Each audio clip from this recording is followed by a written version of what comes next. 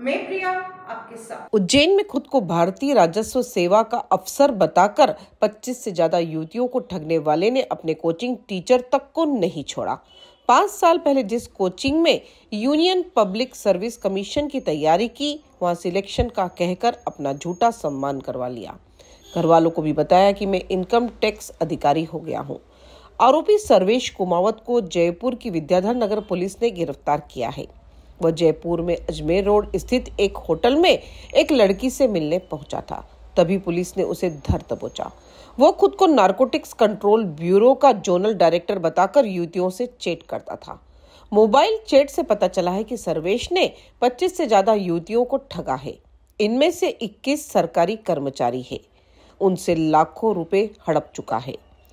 उसके मोबाइल में कुछ युवतियों के साथ की गई आपत्तिजनक चेट भी मिली है। सर्वेश कुमावत उज्जैन शहर से पैंसठ किलोमीटर दूर झाडा का रहने वाला है। उसका सपना यूपीएससी एग्ज़ाम क्लियर करके अधिकारी बनने का था। इसके लिए 2019 में उज्जैन शहर की महंकाल वाणिज्य कॉलोनी में Yug Nirman civil service academy coaching class join की थी। कोचिंग संचालक राघवेंद्र चौधरी ने बताया, एडमिशन लेने के बाद सर्वेश ने पिता की मौत और घर की परिस्थिति ठीक नहीं होने का कहकर फ़ीस माफ़ करवा ली थी। चार महीने बाद कोचिंग आना बंद कर दिया था। इसी के साथ बने रहिए एशिया इंडिया के साथ। धन्यवाद।